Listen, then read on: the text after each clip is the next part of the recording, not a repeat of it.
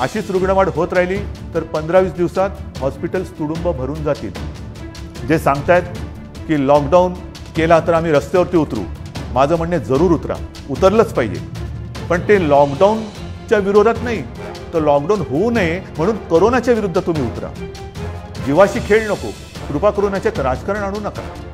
पूर्ण सगळ्या राजकीय पक्षाने मी पुन्हा एकदा हात जोडून विनंती करतो आहे की कृपा करा जनतेच्या जीवाशी खेळ असं राजकारण करू नका.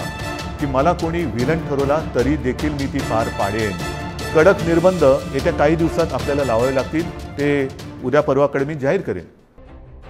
महाराष्ट्रात कोरोना व्हायरसचा वाढता प्रादुर्भाव लक्षात घेता मुख्यमंत्री उद्धव ठाकरेंनी शुक्रवारी राज्यातील जनतेला संबोधित केलं. वाढती कोरोना रुग्णसंख्या बघता पुढचे अठ्ठेचाळीस तास हे राज्यासाठी खूप महत्त्वाचे ठरणार असल्याचं त्यांनी यावेळी म्हटलंय.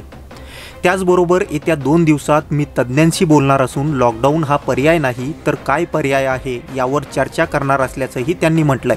तसंच लॉकडाऊनबद्दल बोलताना त्यांनी राज्यातील जनतेला पूर्ण लॉकडाऊनचा इशारा दिलाय. मात्र लॉकडाऊन झालं तर ते कसं असेल? मुख्यमंत्र्यांनी आपल्या संबोधनातून कोणते महत्त्वाचे मुद्दे मांडले? याचाच आढावा आपण या व्हिडिओच्या माध्यमातून घेणार आहोत. मुख्यमंत्री उद्धव ठाकरेंनी जनतेला संबोधित करताना सहा महत्त्वाचे मुद्दे मांडलेत. त्यातील पहिला मुद्दा म्हणजे येत्या दोन दिवसात लॉकडाऊनबाबत निर्णय घेतला जाणार. मुख्यमंत्र्यांनी मांडलेला दुसरा मुद्दा म्हणजे जीव वाचवणं महत्त्वाचं. लॉकडाऊन हवं की नको या कात्रीत आपण अडकलो आहोत. एकीकडे जीव वाचवायचा आहे तर दुसरीकडं अर्थचक्रही सुरू राहावं याची काळजी घ्यावी लागणार आहे. रोजगारही गेला आणि जीवही गेला असं व्हायला नको. रोजगारपेक्षाही आपल्याला जीव महत्त्वाचा आहे. रोजगार आपण नंतर आणू शकतो पण जीव आपण आणू शकत नाही असा सल्ला देखील त्यांनी राज्यातील जनतेला दिलाय. मुख्यमंत्र्यांनी मांडलेला तिसरा मुद्दा म्हणजे बेड्स भरत आलेत. राज्यातील कोरोना परिस्थिती अशीच राहिली तर आणखी पंधरा ते वीस दिवसांमध्ये सुविधा अपुऱ्या पडतील? आपण कदाचित पंचेचाळीस हजार रुग्णांचा आकडा गाठू किंवा पार करू मात्र राज्यातले बासष्ट टक्के बेड्स कोरोना रुग्णामुळं भरले आहेत. अठ्ठेचाळीस टक्के आय सी यू बेड्स देखील भरले आहे.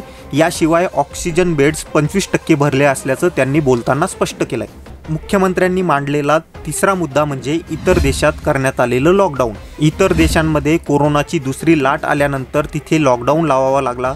फ्रान्समध्ये परिस्थिती नाजूक आहे. तिथं तिसऱ्यांदा राष्ट्रीय लॉकडाऊन करण्यात आलं आहे. लोकांनी घरातूनच काम करावं असं फ्रान्समध्ये सांगितलं आहे. हंगेरी डेन्मार्कमध्ये वर्क फ्रॉम होम आहे. ग्रीसमध्ये हळूहळू निर्बंध हटवण्यात येत आहेत. फिलिपिन्समध्ये मनिला आणि परिसरात लॉकडाऊन आहे. इटली जर्मनी पोलंडमध्येही तीच परिस्थिती आहे. यू केमध्येही तीन महिन्यानंतर निर्बंध हळूहळू हटवण्यात येत असल्याचं मुख्यमंत्र्यांनी बोलताना सांगितलंय. मुख्यमंत्र्यांनी मांडलेला पाचवा मुद्दा म्हणजे लॉकडाऊनचं राजकारण नको. राजकीय पक्षांनी जनतेच्या जीवाशी खेळण्याचं राजकारण करू नये. आपल्याला सर्वप्रथम जनतेचा जीव वाचवणं महत्त्वाचं आहे. लॉकडाऊन केल्यानंतर रस्त्यावर उतरण्याची धमकी मला दिली जाते पण कोरोनाविरुद्ध रस्त्यावर उतरा असं मी तुम्हाला सांगतो असा सल्लाही त्यांनी विरोधी पक्षांना दिलाय. मुख्यमंत्र्यांनी मांडलेला सहावा मुद्दा म्हणजे कोरोना लशीने घातकता कमी.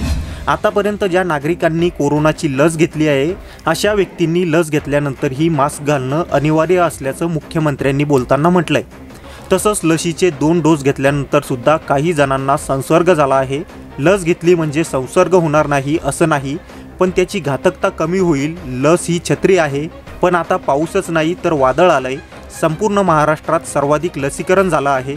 राज्यात दररोज तीन लाख इतकं लसीकरण होत असल्याची माहिती मुख्यमंत्र्यांनी यावेळी बोलताना दिली. आहे याचबरोबर कोरोनाला आपण रोखू शकतो पण त्याला रोखण्याची जिद्द तुमच्यात आहे की नाही हे महत्त्वाचं आहे. त्यामुळे आपण अनावश्यक गर्दी टाळलीच पाहिजे असा सल्लाही त्यांनी राज्यातील जनतेला दिलाय. दरम्यान मुख्यमंत्र्यांनी येत्या अठ्ठेचाळीस तासात लॉकडाऊनबाबत चर्चा करून निर्णय घेणार असल्याचं म्हटलं आहे. त्यामुळं राज्यात कोरोनाला रोखण्यासाठी आता खरंच लॉकडाऊन लावलं जाणार की निर्बंध अधिकच कठोर केले जाणार हेच पाहणं महत्त्वाचं ठरणार आहे. Bureau report the column news Ahmednagar.